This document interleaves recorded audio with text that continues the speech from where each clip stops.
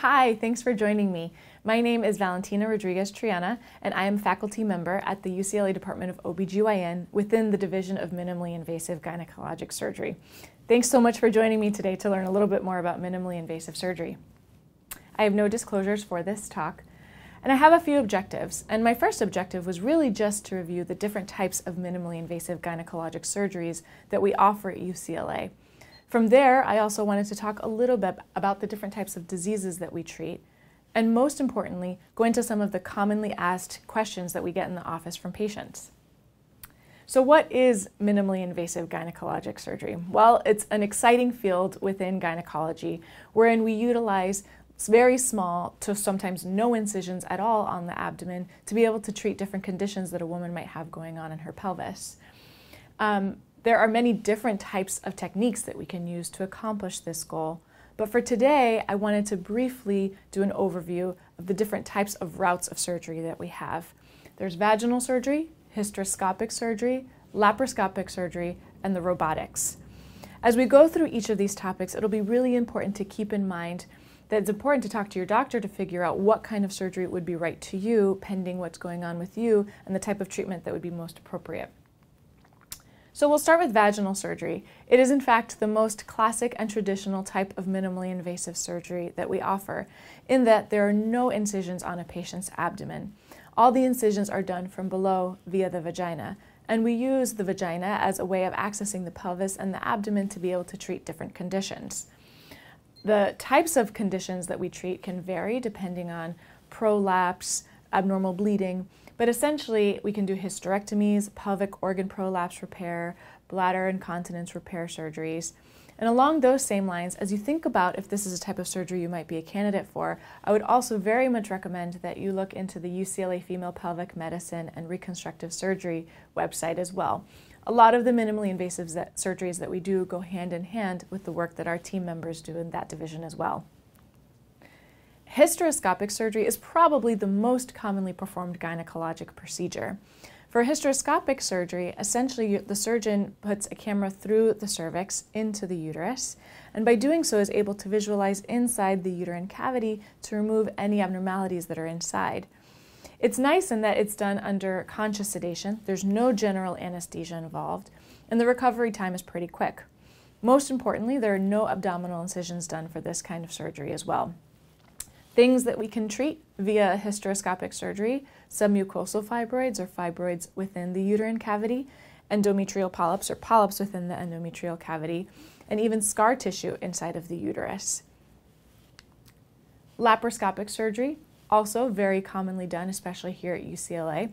In laparoscopy, we utilize small incisions on the abdomen about 5 millimeters to sometimes 12 millimeters inside, to be able to transfer our instruments and remove large pathology or things, diseases that women might have inside of the pelvis. By doing so, we're able to remove very large things like fibroids or a large uterus via very small incisions. The way that we accomplish this is by putting some carbon dioxide gas into the pelvis to really open it and see what we have to see. Examples of some of the procedures that we can do laparoscopically are fibroid removal, ovarian cyst removal, and even hysterectomies can be done laparoscopically. Depending on the extent of the surgery that needs to be done, most patients can anticipate going home the same day and a relatively quick recovery when compared against traditional surgery like open surgery. This is just a little bit of a diagram of the kind of laparoscopic instruments that we utilize to transfer through the small incisions to access what we need to access.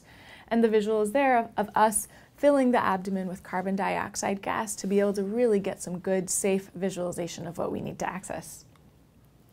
And then robotic surgery. Robotic surgery is very much the same idea as laparoscopy in that there are small incisions on the abdomen through which we transfer our instruments, with the exception that the surgeon is actually sitting at a console that's separate from the patient.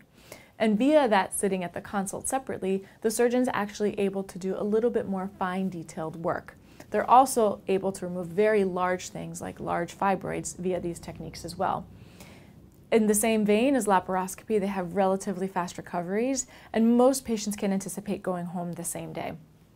Examples of procedures that can be done via robotics are fibroid removal, complex endometriosis, hysterectomy, and also some pelvic reconstruction work. And that's one of the examples of what the robotic surgery can look like. This is actually using one incision on the abdomen from which several trocars or small ports can go inside to access what's happening in the pelvis. So I wanted to get to some of the Q&A because we get a lot of the same questions and I thought it would be beneficial to everyone listening in to hear some of the answers if you have these questions. So the first basic question, what are the benefits of doing a minimally invasive gynecologic surgery over a traditional open surgery? The most fundamental answer to that question is that we consider it safer.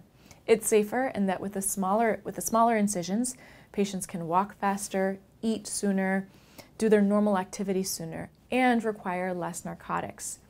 Studies have shown us that people who undergo minimally invasive surgery have less risk of forming blood clots in the legs, less risk of pneumonias, and less risk of wound infections.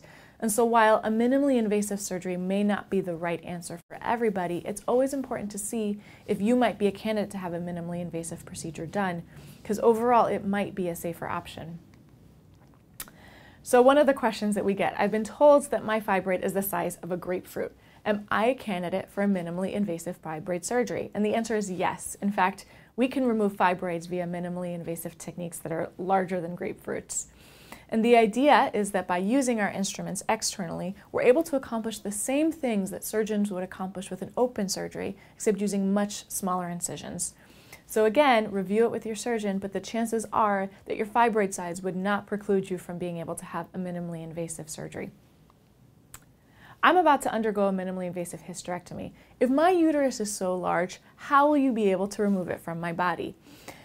There's a very long answer to this, and in fact, there are papers and papers written about what we call tissue extraction techniques, or being able to remove large pathology from small incisions. But the answer is that the shortest answer is that very commonly we end up having to break that pathology into smaller pieces. So if it's a fibroid, we can break it into smaller pieces to remove it out of smaller incisions. Same with the uterus. If it's a large uterus, we can whittle it down to a size where it can come out of a smaller orifice, saving the patient from having a very large incision on the abdomen. So there are many different ways that we can do this, but the most bottom line is that we take something large and break it into something smaller to be able to remove it via these techniques. I have a polyp and was told that I need to have it removed via hysteroscopy. I can't take more time of work. Can I go to work the next day? Yes.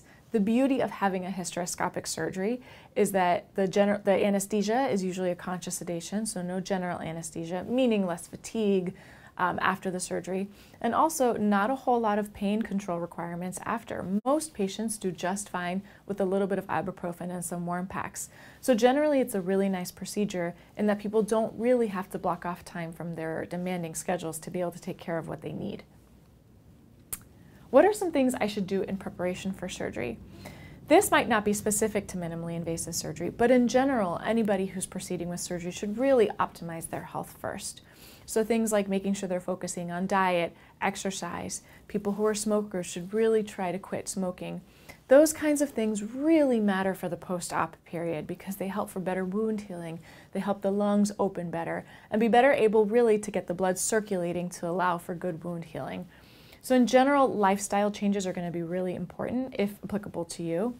The other thing that we think about is just making sure you have your support team on board. Who's going to be helping you after surgery to make sure that if you need something, you have someone at home to help you.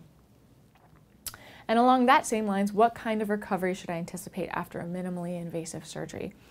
Again, there are long answers, but the short answer to this is that as compared to a traditional open surgery, you should expect a faster recovery. And in fact, we think with these kind of surgeries, every day you should feel just a little bit better, a little bit more back on your feet. Patients should not anticipate having to have high narcotic requirements. In fact, that's one of the beauty of this. And patients should really anticipate being able to mobilize around their homes and carry out some basic normal activities as soon as the first day after surgery. And so, in preparation for life after surgery, the recovery should be relatively quick. Am I a candidate for a minimally invasive gynecologic surgery? I very much would encourage you, if you're thinking about having surgery, to look at our website and go through some of the options that we have, meet some of our providers. Everybody's issues are different, our pathologies are different, but the beauty of these kinds of surgeries is that we can tailor our treatments specific to what's going on with the patient and what their goals might be. And so if you have questions, please don't hesitate to reach out to our website and take a look to see if there's an option that's right for you. Thank you so much.